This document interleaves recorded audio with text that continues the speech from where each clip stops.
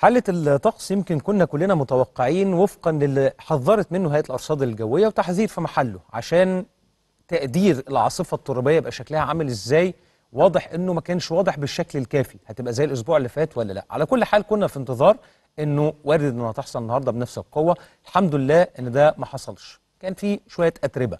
لكن آه، مساء أمس في بعض المناطق واليوم خلال الساعات القليلة الماضية في منطقة القاهرة آه، الجديدة آه، أمطار وسحب رعدية.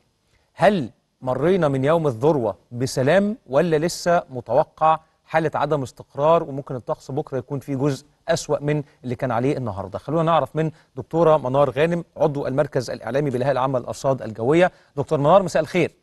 مساء الخير على حضرتك أستاذ رامي مساء الخير على كل السادة المشاهدين. أهلا بيك يا فندم. نقدر نقول إن النهارده الحمد لله عدى على خير. الحمد لله ذروه التقلبات الجوية اليوم وفقا طبعا لتحذيرات الهيئة العامة للأرصاد الجوية ذروة حالة عدم استقرار في الأحوال الجوية م. بدأت طبعا بالارتفاع الكبير في درجات الحرارة فترة النهار تساقط الأمطار اللي كان رعدي ومتفاوت الشدة من محافظة لمحافظة هبات الرياح اللي كانت سريعة مع ال- الأمطار الرعدية. الحمد لله المنخفض الجوي اللي بيأثر علينا في طبقات الجو العليا وأيضا على سطح الأرض بدأوا يتحركوا في اتجاه المناطق الشرقية م. فبدأت دلوقتي المناطق الشرقية هي أكثر تاثرا بالأمطار المناطق الشرقية زي سواحلنا الشمالية الشرقية م. بعض المناطق من سيناء مدن القناة لكن باقي مناطق الجمهورية الحالة هتقل عليها إن شاء الله يعني خلال الساعات القادمة كويس فرص الأمطار هتكون موجودة عليها لكن بصورة أقل من اللي شفناها الساعات الماضية بإذن الله وبما إنه؟ كان متوقع النهارده يبقى الذروة ده معناه إنه حالة الطقس بكرة هتبقى غير مستقرة لكن يعني أفضل من الحال النهارده. بالفعل. بكرة إن شاء الله هنلاقي تحسن نسبي في الأحوال الجوية. هنلاقي درجات الحرارة انخفضت عن اليوم بحوالي من درجتين لثلاث درجات لأن إحنا اليوم سجلنا 39 درجة مئوية بالنسبة للقاهرة الكبرى. م. متوقع بكرة إن شاء الله تكون 36 درجة مئوية لكن المناطق الجنوبية جنوب الصعيد هتكون 45 درجة مئوية لكن هيكون تحسن نسبي عن اليوم.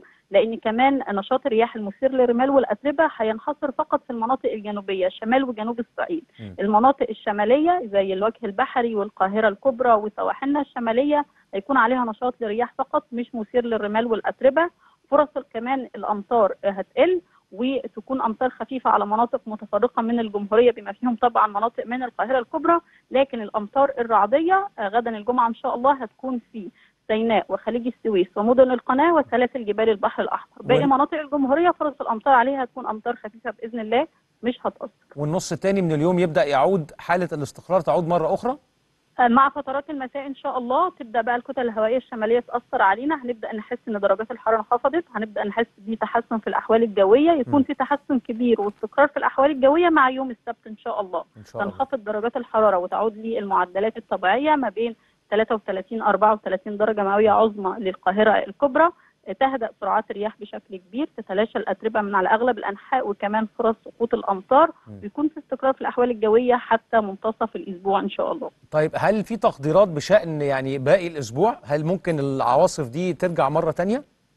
هو وارد جدا. في. ظل آه، آه، بقائنا في فصل الربيع فصل الربيع هينتهي 20 6 وفي ظل كمان التغيرات المناخية يمكن إحنا مش معتادين على الظواهر الجوية دي في نهايات فصل الربيع أو في الوقت ده من السنة. آه. فوارد جدا يتكرر حالات عدم الاستقرار في الأحوال الجوية حتى انتهاء فصل الربيع يعني 20 6 والأتربة والرمال المصارف. عشان كده إحنا بنقول دايما لازم نتابع النشرات الجوية بصورة يومية ونتابع التح- التحديثات اللي بتصدرها الهيئة العامة للارصاد الجوية على صفحتها الرسمية على الفيسبوك. نعم أشكرك شكرا جزيلا دكتورة منار غانم عضو المركز الإعلامي بالهيئه العامه للارصاد الجوية.